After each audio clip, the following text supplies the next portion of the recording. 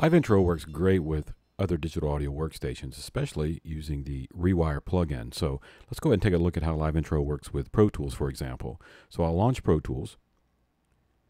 And now I want to go to the mix view inside Pro Tools. So I'll select that. And I'm going to go to the pull down insert window here inside track one, just an audio track. I'll go over to the right and I'll go down to instrument and Ableton Live. This will open the Rewire plugin, and you'll notice that it says Ableton Live, and then it's got the I.O. settings to the right. I'll make sure that mix left, mix right is on. Now I want to go ahead and launch Live Intro. There we go. And we're going to work in the linear mode, which is the arrangement view inside Live for this example. So basically, I've got a set already opened up that we've been working on.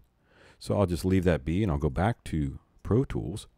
And one thing I want to do is I'll go ahead and open up our transport. There we are. And now I'll simply select play and we'll listen to how live works alongside Pro Tools.